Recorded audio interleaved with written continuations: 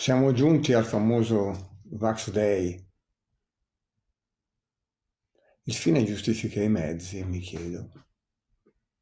La famosa frase di Machiavelli, che spesso è usata per sottolineare il cinismo dei potenti, giustificare la dispensa dell'etica a favore del risultato. Quindi, salvare vite.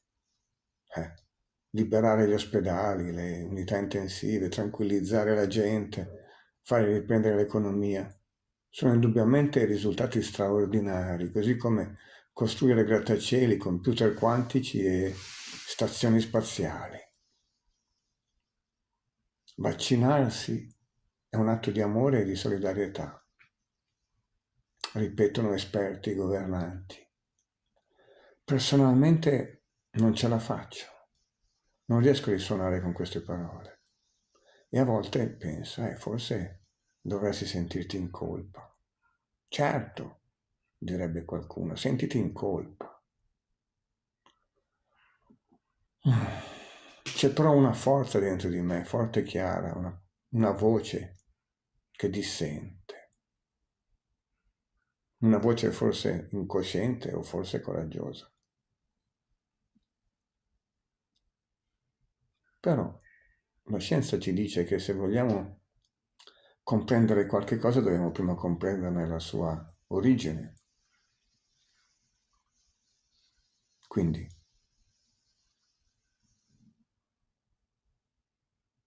che prosegua pure questa grande campagna mondiale di liberazione dal male. Io suggerirei di affiancare qualche riflessione Pensiamo alla scienza, il pensiero scientifico, l'umanità. Per millenni la malattia era dovuta agli spiriti, spiriti maligni, e il pensiero magico superstizioso aveva le sue tecnologie per discutibili per liberarsi dagli spiriti maligni. Poi, quantomeno nel nostro mondo occidentale, è giunta la Chiesa e al, agli spiriti maligni si è sostituito il maligno come causa di buona parte delle malattie. Mentre invece il versante prescientifico incominciava a specificare un po' meglio questo maligno definendolo miasmi, veleni. E poi venne la scienza. E soprattutto per quanto riguarda la medicina. Il grande passo, la nascita della medicina moderna è datata, potremmo dire, alla scoperta dei batteri e quindi degli antibiotici, che ha cambiato radicalmente la qualità e l'aspettativa di vita nelle persone. Straordinario risultato. E così si è andati avanti. Il secondo straordinario risultato è stato la scoperta di, degli strumenti de, della diagnostica sia molecolare che strumentale. Un altro enorme passo che ha ulteriormente allungato, speranza e aspettativa e qualità della vita. Fino ai nostri giorni dove è in atto una terza rivoluzione, la rivoluzione genomica potremmo dire, la rivoluzione della medicina di precisione cosiddetta, la quale individua, eh, individua i marcatori genomici cosiddetti. E questo, questo Covid, anzi questo Covid-19 mRNA BNTI 162B2, che sarebbe poi il vaccino della Pfizer, non è propriamente un vaccino secondo la tradizione, cioè non è un agente patogeno disattivato, denaturato. Segue invece questo nuovo filone della genomica, infatti è un RNA messaggero, è un'informazione, è un'informazione genetica che entra nelle nostre cellule e insegna alle nostre cellule a produrre tale, queste tali proteine spike che sono poi le proteine che il virus produce per entrare nella cellula. Quindi produce queste proteine, insegna di conseguenza all'organismo a sviluppare gli anticorpi per queste proteine in modo tale che all'arrivo eventuale del virus con la sua proteina questo possa rispondere producendo gli anticorpi. E inoltre anche attiva e migliora il sistema immunitario, produce, aumentando la produzione dei linfociti T, delle cellule T. Ok, straordinario. Come si fa a dire qualche cosa se non a inchinarsi? Straordinario come i computer quantici, la risonanza magnetica o i razzi e le stazioni spaziali. Andiamo avanti con le nostre riflessioni. L'origine. L'origine il virus, no? Ci dicono. Ah. E allora perché alcuni si infettano, altri no? Alcuni restano asintomatici, molti. Alcuni si ammalano lievemente, altri gravemente, altri muoiono. Dove sta la differenza? Giustamente la scienza medica si fa queste domande. Perché alcuni si ammalano e altri no? Perché le terapie funzionano su alcuni altri e su altri no? E perché alcuni farmaci, alcuni presentano delle reazioni avverse a farmaci e altri no? E la scienza ha trovato delle risposte, il genoma.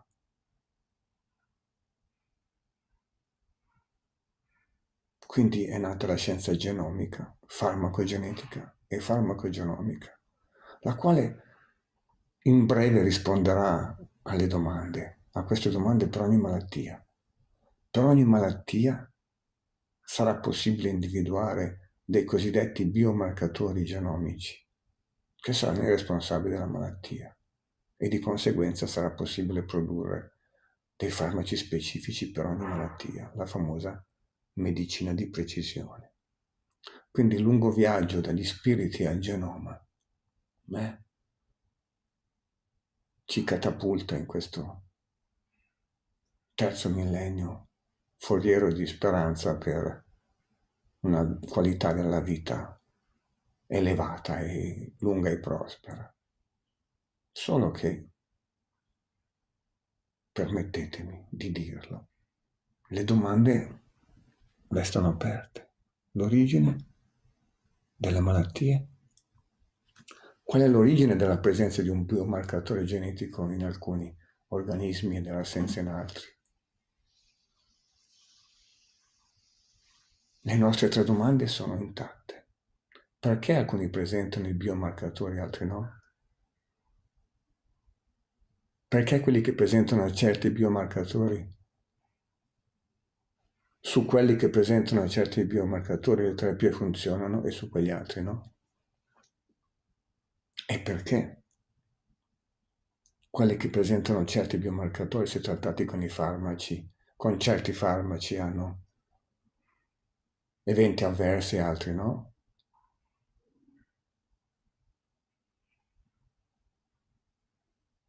Non c'è risposta per ora. Forse perché non si cerca nella direzione giusta. Il fine giustifica i mezzi. Sconfiggere il virus, allungare la vita, può giustificare non porsi le domande giuste, dimenticarci della vera natura delle malattie. Perché dico dimenticarci? Perché se noi vediamo la ricerca medica, anche quando parla di ambiente e con cause epigenetica, trascura completamente il versante, diciamo così, della coscienza. Puro sguardo sulla materia. Cioè la, la famosa distinzione cartesiana è tuttora intatta.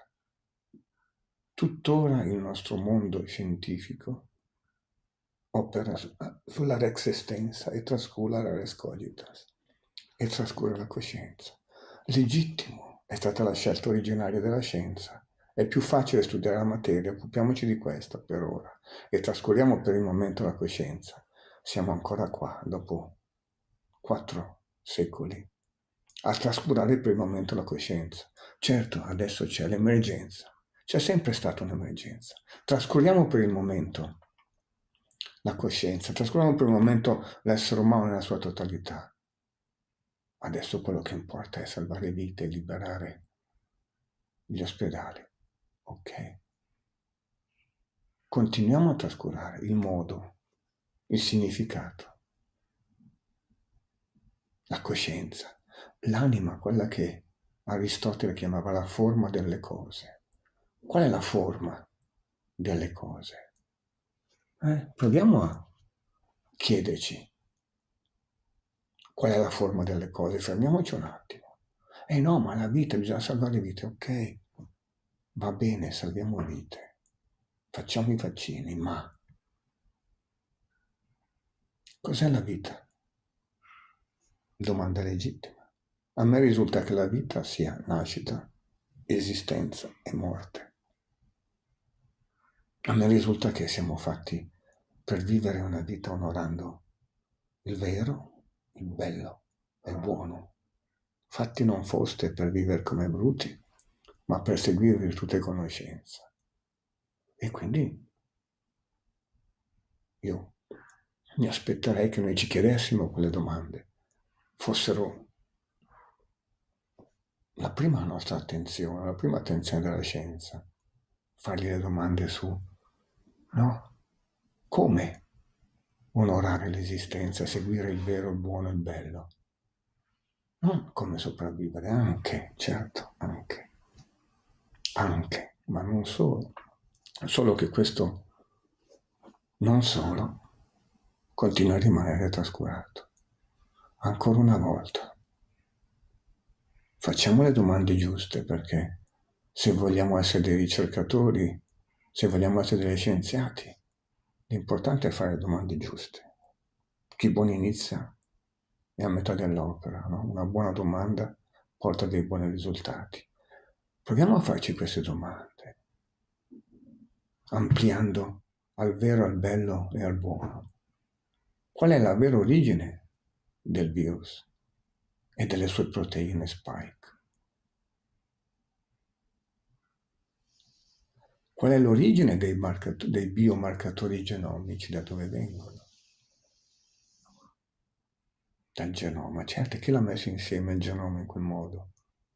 Eh, quante domande. Il caso, l'eredità, bene, spostiamo in là, il confine, la vera natura, l'origine prima.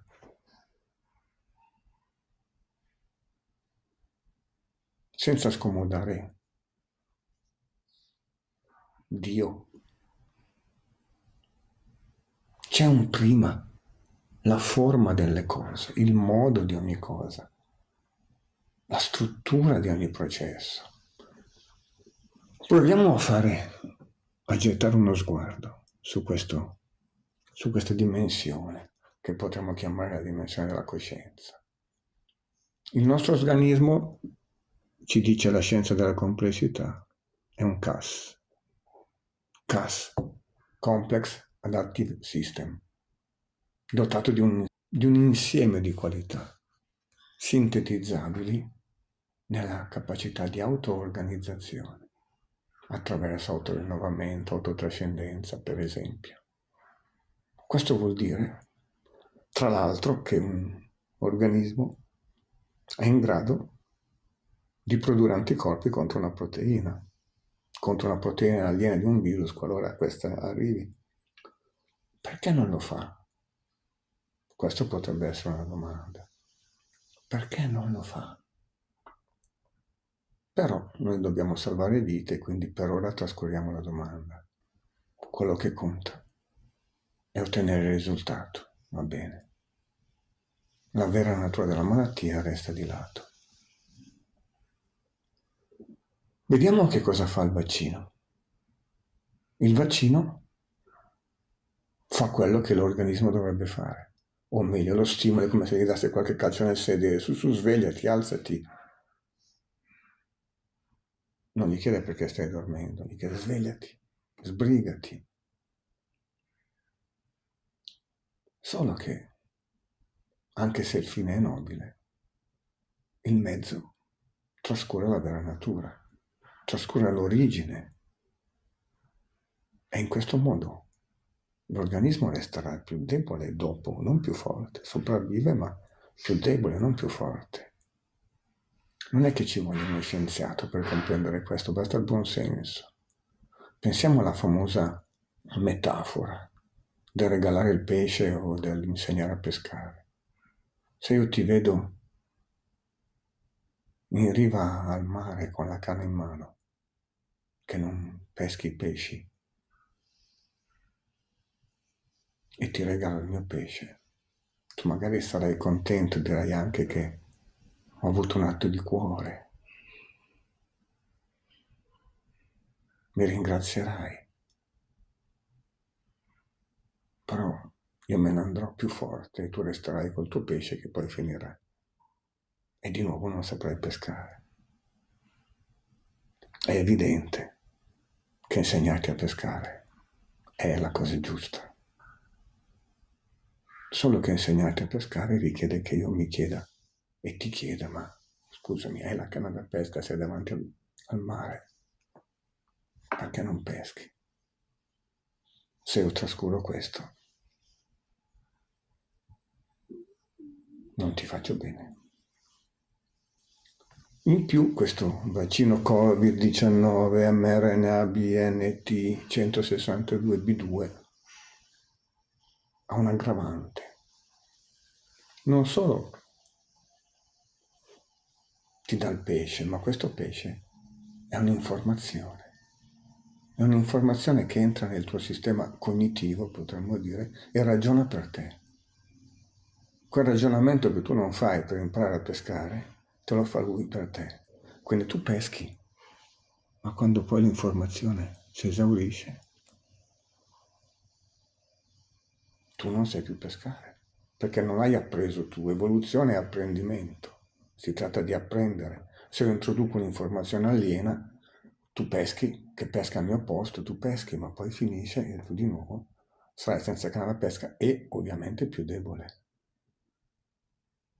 Una seconda aggravante questa informazione è l'informazione per insegnarti a pescare, cioè per farti produrre gli anticorpi contro quella proteina. E chi ci dice? Nessuno può dirlo, mi spiace, nessuno può dirlo. Che questa informazione non si allarghi, che questa informazione non insegni a produrre anche altre proteine, Non possiamo saperlo. Buon ritorno alla normalità.